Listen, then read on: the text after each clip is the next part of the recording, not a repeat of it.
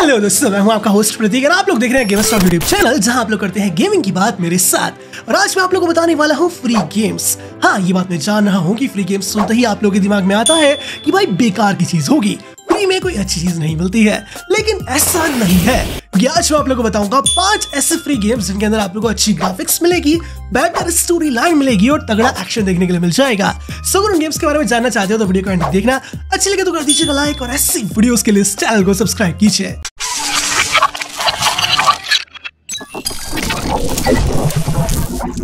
देखो यार वीडियो में आगे बढ़ने से पहले मैं आप लोगों को बता दूँ कि आज मेरी तबीयत बहुत ही बेकार तरीके से खराब है। बस अभी उठ रही है हालत में हो तो वीडियो रिकॉर्ड कर रहा हूँ।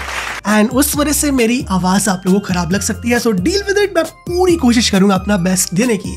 और इसी बात पे जो फ़र्स्ट गेम निकल करके आता है, वो है एस्टलैन भाई, अजीब नाम यार उसका। जी हाँ एस्टलैन अनकवर्ड यहाँ एक तरीके से हम लोग इतिहासकार की भूमिका निभाते हैं और ऐसी ऐसी आर्कोलॉजिकल साइट्स को डिस्कवर करते हैं जो दुनिया का रहस्य छुपाए हुए हैं। हाँ वो बात अलग है कि एक सुंदर लड़की है फोर्टनाइट वाली। कुछ ऐसे रहस्य और राज है जो कि सभी लोगों के सामने आने चाहिए, लेकिन वो उन जगहों में दफन होकर रह चुके हैं। अब ये हमारा कर्तव्य बनता है कि हम एक्सप्लोरेशन करें और उन जगह को ढूंढ करके वो सत्य सबके सामने लाए, जिसमें हमारी मदद करेंगे टाइम रिवर्सिंग इक्विपमेंट्स और सिर्फ़ इतना ही नहीं गेम की जो ग्राफिक्स है आसपास का जो एनवायरमेंट है, जो लोकेशन दिखाई गई है, वो बहुत ही प्यारी है। और तो और गेम का साइज़ भी ज़्यादा नहीं है, ऊपर से सिस्टम रिक्वायरमेंट्स भी काफ़ी कम है। सो अगर आप लोग एक एडवेंचर जर्नी पर जाना चाहते हैं, जहाँ आप लोग काफ़ी सारे मिस्ट्रीज को सॉल्व करें, तब तो आप लोगों को ये गेम ज़रूर खेलना चाहिए। और इसी के साथ में चलिए बढ़ते हैं, आगे और बात करते हैं हमारी वीडियो के सेकंड गेम की, जो की है एरिड क्या आप लोग जानते हैं एरिड शब्द का अर्थ क्या है? एक ऐसी जगह जहाँ सूखा पड़ा हो और बिल्कुल ना के बराबर या फिर बारिश होती ही ना हो। सो आप लोग समझ गए होंगे कि कितनी मुश्किल जर्नी पर हम लोग जाने वाले हैं। ये एक फ्री सर्वाइवल गेम है, जिसको बनाया है एक स्टूडेंट ने ब्रेडा यूनिवर्सिटी के।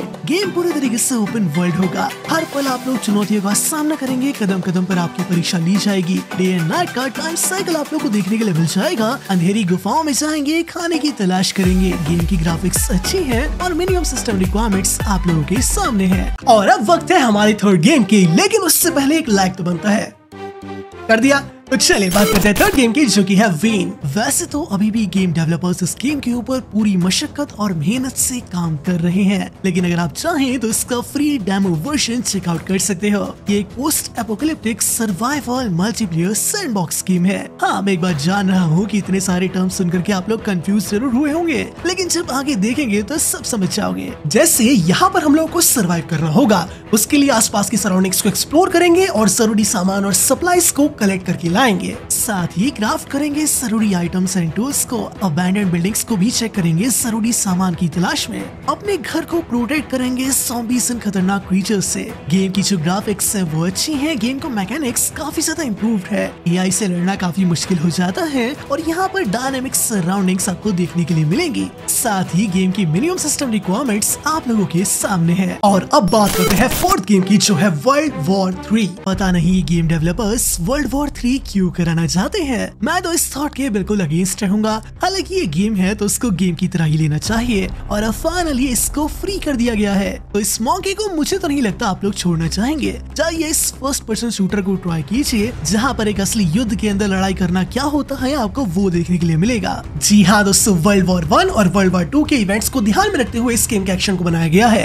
यानी कि मामला बहुत तगड़ा है, खतरनाक एक्शन देखने के लिए मिल जाएगा। और सिर्फ़ इतना ही नहीं आप लोग different different locations like Warsaw Berlin Moscow में जाकर के युद्ध को लड़ेंगे। गेम की सिस्टम रिक्वायरमेंट्स ये रही, और गेम की ग्राफिक्स भी काफ़ी अच्छी है। एंड एट लास्ट चलिए बात करते हैं फिफ्थ गेम की, जो की है एनलिस्टेड अभी थोड़ी देर पहले तक ही तो हम लोग लड़ाई की बातें कर रहे थे, और फाइनली जो हमारा लास्ट गेम है, वो भी लड़ाई पर ही बेस्ड है। लेकिन ये मत सोचेगा कि ये गेम किसी भी तरीके से उससे कम है। इनफैक्ट आप लोगों को वन स्टेप आगे ही देखने के लिए मिलेगा, चाहे फिर बात हो इस गेम के कॉम्बैट की या फिर ग्राफिक्स की। जैसे यहाँ आप लोगों को hundreds of soldiers armoured vehicles and aircraft देखने के लिए मिल जाएँगे हर एक लड़ाई में। और ये तो कुछ भी नहीं, अभी हाल ही में इस गेम ने अपनी पॉपुलैरिटी भी पकड़ी है। तो ज़्यादा से ज़्यादा लोग इस गेम को खेलना चाहते हैं। तो आप लोग इस चीज़ का वेट करे, जाइए इस गेम को ट्राई कीजिए। सो मेरे भाइयों, ये थी हमारी आज की वीडियो आई होप आप लोग अच्छी लगी होगी। ऐसा है तो फटाफट से कर दीजिएगा लाइक एंड मैं जान रहा हूँ कि मेरी जो भी रिकॉर्डिंग रही आज, उसमें आवाज़ ऐसे ऐसे